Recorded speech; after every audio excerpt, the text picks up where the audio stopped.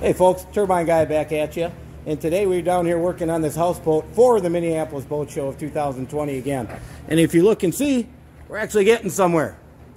We got the back ladder in, battery banks in, at least for the show. They got some cabinets, the kitchen sink is in.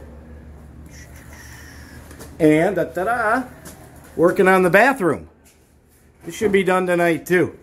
Now we come up front here, you can see we're getting cabinets in up here.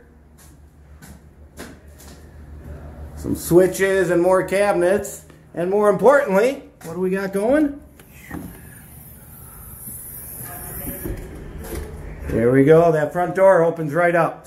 So they got that set. Those are 250 pound spring uh, pistons, I believe. Now here's the nice part. You look at that sitting up all on its own. Whoosh.